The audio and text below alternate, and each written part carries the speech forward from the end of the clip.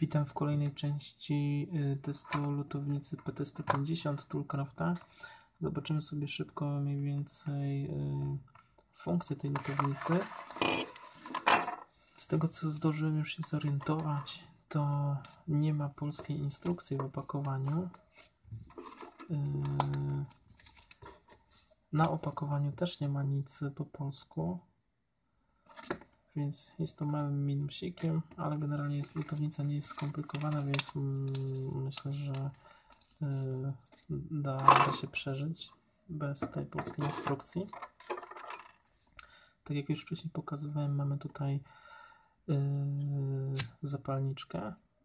W zasadzie y, no można powiedzieć, że to jest taka zapalniczka, czyli zapalamy iskrą gaz w lutownicy.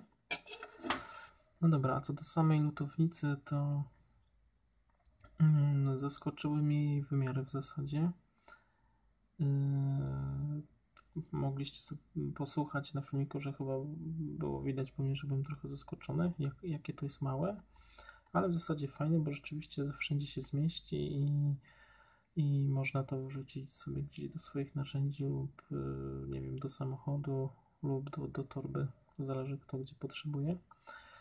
No dobra, ale y, co do samej lutownicy, to y, tutaj mamy slot na y, ładowanie gazu. Mamy tak, regulację gazu, czyli plusik, minusik. Możemy sobie regulować wylot gazu. Mamy tutaj on-off czyli włączenie, wyłączenie. Y, mamy taką podstaweczkę, która jest y, fajna i dobrze, jest, czyli możemy sobie postawić lutownicę, y, gdy będzie nagrzana, żeby czegoś nie przypalić. Tutaj mamy dyszę i mamy grot. Grot z tego, co się zorientowałem, jest wymienny, ale w zestawie nie ma drugiego, więc szkoda. No i e, nie orientowałem się, może da radę dokupić gdzieś albo dostać grot, jakby komuś już się wypalił całkowicie. No dobra, i tyle, e, tyle chyba z funkcji. No jeszcze, jeszcze e, mogę powiedzieć tyle, że tutaj w tej dyszy będziemy podpalali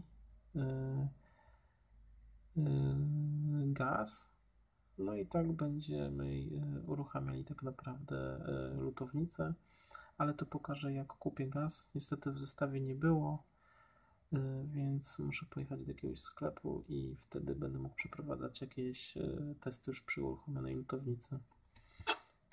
Dobra, dzięki.